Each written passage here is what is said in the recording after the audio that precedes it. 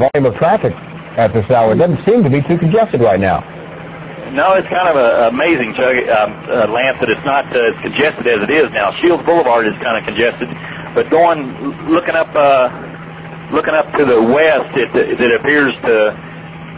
I mean, it's heavy traffic, but it's all moving very good. It's uh, you know, no congestion, no stop and go at this time.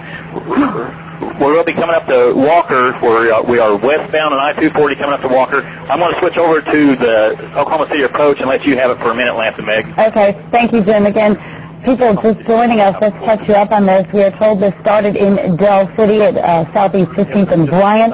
This is a stolen car, we're being told. This chase has now been going on for, I believe, Close to 35 minutes 35 to 40 minutes. That's We know right. that there are several law enforcement agencies involved in this pursuit, including the Oklahoma Highway Patrol. It was, it was started by the uh, Del City Police.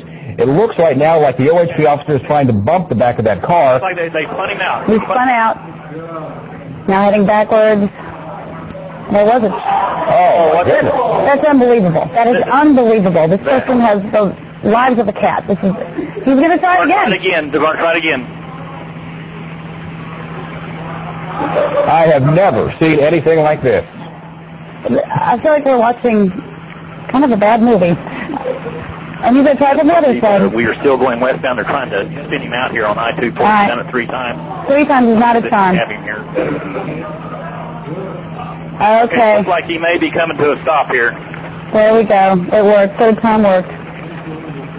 Now he's going in reverse. Coach, uh, He's, he's, They're trying to corral him, but boy, he is not giving up. No, this He is is determined to get away. unbelievable. 3.6 right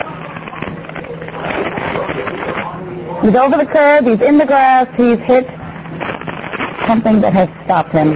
Fine. OHP troopers out, guns drawn, surrounding the car.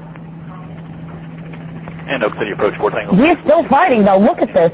He is still fighting all the way to the ground. His shoes are off. Right now we are probably about uh, two, three miles uh, directed. Suspect is in custody, but Fair it to say, has... the suspect is in custody. The Oklahoma Highway Patrol, Oklahoma City Police, all in pursuit. It began at about 10 minutes before 5 o'clock as a report of a stolen vehicle